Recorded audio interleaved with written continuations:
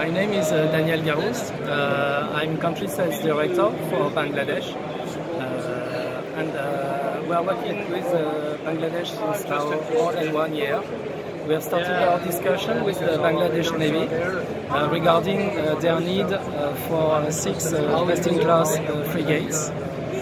And uh, we are also uh, discussing with the Coast Guard for uh, their need of four OPVs.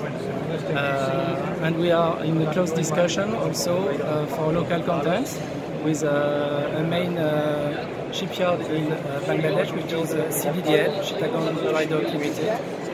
And we, are very, we have signed a, a MOU with CDDL last year to build uh, the six frigates for the Bangladesh Navy.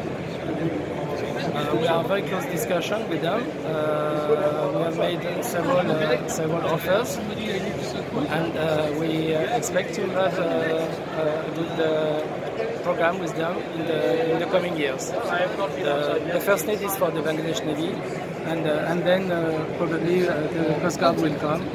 Um, we also have uh, another subject for the Bangladesh Navy, which is the minesweeper, and uh, we expect to uh, propose them a second-hand minesweeper from the French Navy, which will come in the coming years.